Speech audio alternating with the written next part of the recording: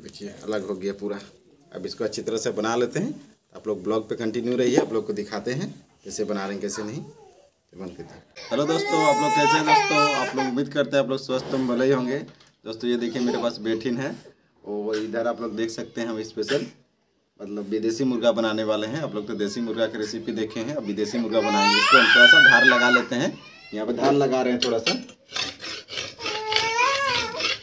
बन सकते आते हाँ? कॉल आसे ना बिना हम लोग का धार लगाया हुआ कंप्लीट हो गया है। अब इसको थोड़ा सा धो लेते हैं अच्छी तरह से। उसके बाद इधर मुर्गा है इसको बनाते हैं। टाइप सा उसके बाद आप लोग को रेसिपी वाला वीडियो भी देखिएगा कैसे बना रहे हैं। तो फ़िलहाल अभी देखिए मुर्गा कैसे बना रहे हैं। वो आप लोग देख सकते हैं। पानी को धो लिए।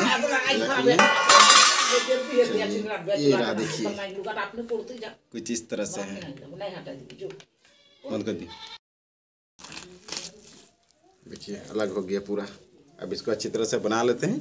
आप लोग ब्लॉग पे कंटिन्यू रहिए आप लोग को दिखाते हैं कैसे बना रहे हैं कैसे नहीं। तो तो दोस्तों देखिए आप लोग देख सकते हैं यहाँ पे इतना सारा हम बड़ा बड़ा साइज़ को छोटा कर लिए हैं। अब इसको छोटा छोटा करते हैं। इस तरह से छोटा छोटा बनाना पड़ेगा खाने के लिए।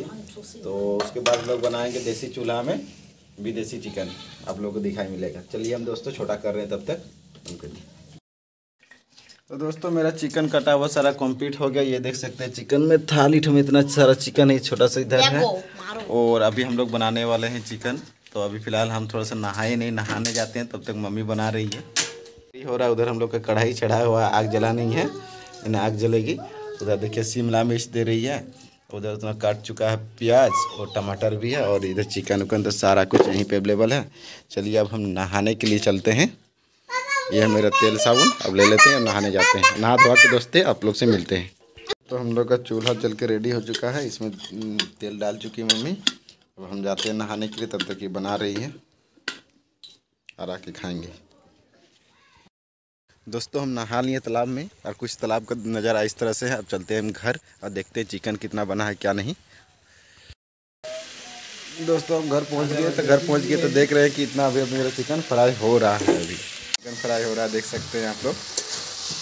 एकदम देसी चूल्हा में विदेशी चिकन बन रहा है हम लोग का। मम्मी बना रही है। तो जो हम लोग प्याज लगा के, जो प्याज का गाछी बचा हुआ था, इसमें आ गए हम लोग अभी इसमें। देखिए जुताई उताई कर रहे हैं। और मम्मी घर में चिकन बना रही है। अब इसे हम ले, बड़े पापा को ले आए हैं। जुताई कर दीजिए थोड़ा सा। लगाना है इसमें। देख सकते हैं कि जुताई उस तरह से हो रहा मशीन से। ये देख सकते हैं दोस्तों, ये छोटा ट्रैक्टर है। मिनी ट्रैक्टर कल्टीवेटर बोल सकते हैं वो बिल्डर बोल सकते कुछ भी बोल सकते हैं, इससे जुताई हो रहा है। हम जिसमें मेथी लगाए थे, इसमें दोस्तों जुताई कर देते हैं तो जो प्याज का गाछी बचा हुआ उसको लगाएँगे। तो आप लोग मेरे ब्लॉग पे कंटिन्यू रहिए। हम जाते हैं चिकन खाने के लिए, अब जोता नहीं होने के बाद। दोस्तों, हम लोग का जोता हुआ लगभग कंप्लीट होने ही चला है। अब देखिए, यहाँ पर पूरा कंप्लीट हो गया, एकदम कितना अच्छा से बारीकी से मिट्टी हो चुका है। इसमें हम लोग अब जो बच्चा कुछ प्याज है उसको अब हम लोग लगाने वाले हैं, दोस्तों। देख सकते हैं जेठा जी जोत रहे हैं। दोस्तों मेरा खाना पीना पूरा हो गया। देख सकते हैं बन चिकन रेडी है। अभी देखिए हम खा रहे हैं इधर। दोस्तों ये रहा मैं देखिए कटोरी में चिकन है यहाँ पे। और ये रहा भात। अभी जाते हैं हम खाते हैं। सो so, मेरे यूट्यूब फैमिली आप सभी को इनवाइट है। आप लोग आके खा सकते हैं। आइए मेरे घर में चिकन खाने के लिए।